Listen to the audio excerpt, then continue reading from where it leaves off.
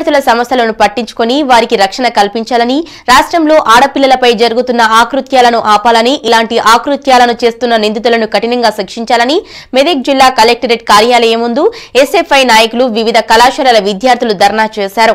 అనంతరం విద్యార్థుల సమస్యలను పరిష్కరించాలని డీఆర్ఓకి వినతి పత్రం సమర్పించారు. ఈ సందర్భంగా ఎస్ఎఫ్ఐ రాష్ట్ర ఉపాధ్యక్షుడు తాటికొండ రవి మాట్లాడుతూ రెండు వేల పంతొమ్మిది ఇరవై సంవత్సరానికి స్కాలర్షిప్ ఫీజు రియంబర్స్మెంట్ అప్లికేషన్ ఇప్పటి వరకు తీసుకోలేదని వెంటనే అప్లికేషన్స్ తీసుకోవాలని అన్నారు. ప్రభుత్వ జూనియర్ కళాశాలలో మధ్యాహ్న భోజనం అమలు చేస్తామని చెప్పి ఇప్పటి వరకు అమలు చేయలేదన్నారు. ఐదు వందల మంది విద్యార్థులతోటి కలెక్టరేట్ను ముట్టడించడం జరిగింది. ప్రధానమైనటువంటి ఉద్దేశం ఈ రోజు విద్యారంగంలో ప్రభుత్వం విద్యార్థులకు కేటాయించినటువంటి నిధులు కానీ విద్యార్థులకు రావాల్సినటువంటి స్కాలర్షిప్లు కానీ ఇవ్వకుండా ఈరోజు విద్యారంగాన్ని విస్మర్శించేటువంటి పరిస్థితి రాష్ట్రంలో కనిపిస్తూ ఉంది. అమలు చేస్తామని చెప్పి చెప్పినటువంటి ప్రభుత్వం ఇప్పటిదాకా మధ్యాహ్న భోజనం పథకాన్ని అమలు చేయలేదు. తక్షణమే మధ్యాహ్న భోజన పథకం అమలు చేయాలి. పోలీస్ బందోబస్తుని ఏర్పాటు చేయాలని చెప్పేసి ఈ విధంగా ఒక ప- పదమూడు రకాల డిమాండ్లతోటి ఇక్కడ ఉన్నటువంటి డిఆర్ఓ గారికి కలెక్టరేట్లో వినతి పత్రం ఇవ్వడం జరిగింది.